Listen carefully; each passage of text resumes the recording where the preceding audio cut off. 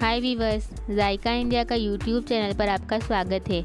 आज हम आपके साथ शेयर करेंगे नान चाप की रेसिपी जो मुंबई और सुरती स्ट्रीट फ़ूड की एक स्पेशलिटी है। आसान फ़ूड रेसिपीज़ के लिए हमारे चैनल को सब्सक्राइब करें और बेल आइकन दबाना ना भूलें। तो चलिए शुरू करते हैं।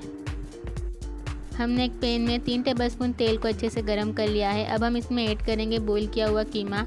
कीमे को बॉईल करने के लिए हमने 500 ग्राम कीमे में एक टीस्पून नमक और एक टीस्पून अदरक और लहसुन का पेस्ट डालकर प्रेशर कुकर में तीन सीटी आने तक इसे मीडियम फ्लेम पर अच्छे से बॉईल कर लिया है और हमने हाई फ्लेम पर इसके पानी को अच्छे से सुखा लिया है।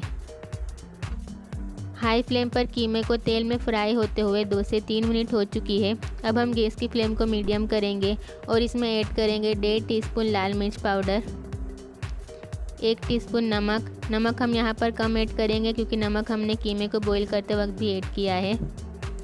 और ऐड करेंगे डेढ़ टीस्पून धनिया पाउडर हाफ़ टी स्पून हल्दी पाउडर इन सब मसालों को कीमे के साथ अच्छे से मिक्स कर लेंगे और मीडियम फ्लेम पर कीमे को मसालों के साथ पाँच से सात मिनट के लिए पकाएँगे। कीमे को मसालों के साथ पकते हुए पाँच से सात मिनट हो चुकी है। अब हम इसमें ऐड करेंगे दो मीडियम साइज़ की कटी हुई प्याज। इसी के साथ हम इसमें ऐड करेंगे दो मीडियम साइज़ के कटे हुए टमाटर और चार बारीक कटी हुई छोटी हरी मिर्च। इन सबको अच्छे से मिक्स कर लेंगे।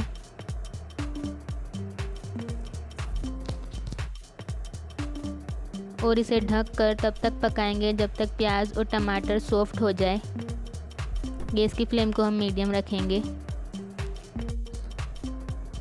ये देखिए हमारे प्याज और टमाटर अच्छे से सॉफ्ट हो चुके हैं। इसे एक बार चेक कर लेंगे। और अब हम इसमें ऐड करेंगे एक टीस्पून काली मिर्च पाउडर, एक टीस्पून जीरा पाउडर, हाफ़ टी स्पून गरम मसाला। अच्छे से मिक्स कर लेंगे। दो से तीन मिनट के बाद अब हम इसमें ऐड करेंगे बारीक कटा हुआ हरा धनिया। इसी के साथ हम इसमें ऐड कर देंगे दो नींबू का रस। मिक्स कर लेंगे। और अब हम इसमें ऐड करेंगे तीन मीडियम साइज़ के आलू। इन आलूओं को हमने बॉईल करके अच्छे से मेस कर लिया है।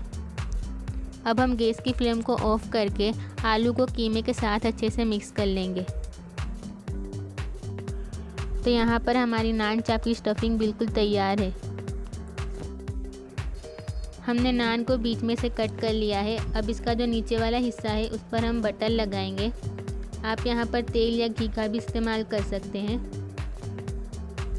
देखिए बटर अच्छे से लगाने के बाद हम इसको गरम तवे पर रख कर लो फ्लेम पर कुछ सेकंड के लिए अच्छे से रोस्ट करेंगे।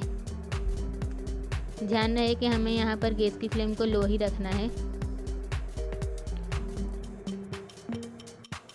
हमें इनको तवे पर सिर्फ़ 30 से 35 सेकंड के लिए ही रोस्ट करना है।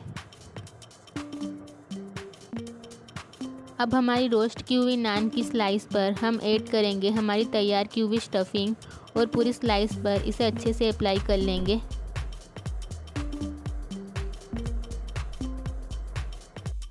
ये देखिए, हमने नान की नीचे वाली स्लाइस पर अच्छे से स्टफिंग अप्लाई कर ली है। अब इसकी ऊपर वाली स्लाइस को इस पर रख के अच्छे से कवर कर लेंगे। 500 ग्राम कीमे का इस्तेमाल करके हमने जो स्टफिंग बनाई है, वो सात नान चाप के लिए काफ़ी है। अब हम इनको एक बार फिर से रोस्ट कर लेंगे। तवा गर्म होने के बाद हम इसे बटर से ग्रीस कर लेंगे। आप यहाँ पर तेल या घी का भी इस्तेमाल कर सकते हैं। और अब हम इस पर ऐड करेंगे हमारी बनाई हुई नान चाप। और थोड़ा बटर हम इसकी किनारियों पर से भी ऐड करेंगे।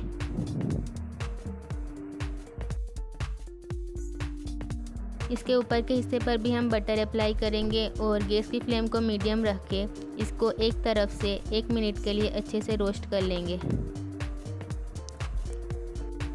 अब इसे पलट कर दूसरी तरफ़ से भी एक मिनट के लिए अच्छे से रोस्ट कर लेंगे। देखिए गैस की फ्लेम को हम यहाँ पर मीडियम रखेंगे।